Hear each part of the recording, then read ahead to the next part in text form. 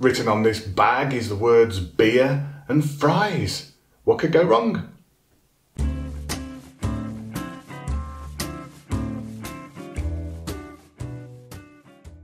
Hey my friends, it's Papparoni and look at this. New McCain Gastro Craft Beer Fries. Tasty and crispy, skin on. Skin on thick cut fries in an IPA batter.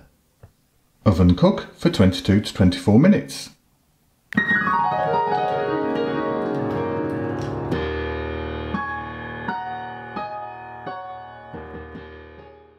So here they are my friends, straight out the oven. I cooked them for the lower cooking time, 22 minutes rather than 24. They've taken on a nice colour in the oven. Some have gone a little bit darker than others. Some remain lighter.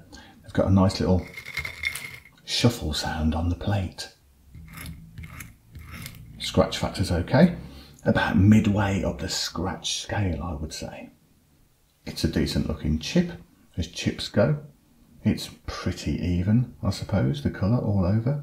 And we can see the skin on, on the left hand side there. Okay, let's open one up, see what it's like inside. Looks like a decent, clean, kind of mashed up potato in there. And the mush factor. The mush factor is fine. I like the way that when I press down, that little potato worm appeared between the two middle prongs. Now they come in a 650 gram bag and 100 grams of these fries will give you 230 calories.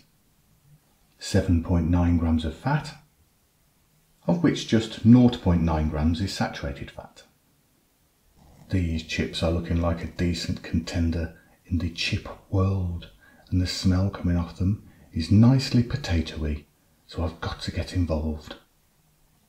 Now then, McCain have been around since 1957. They started their business in Canada, so they've had enough time to get their chips right.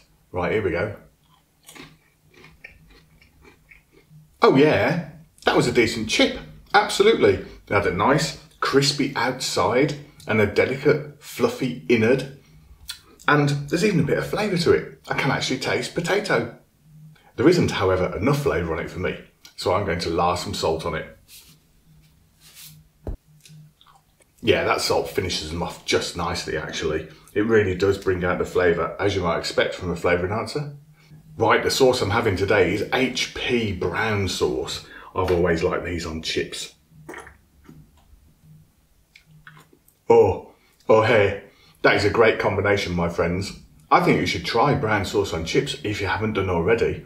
If I was to say anything negative about these chips, I would say that they're just a bit too dry but a fried egg or some sauce or vinegar will deal with that.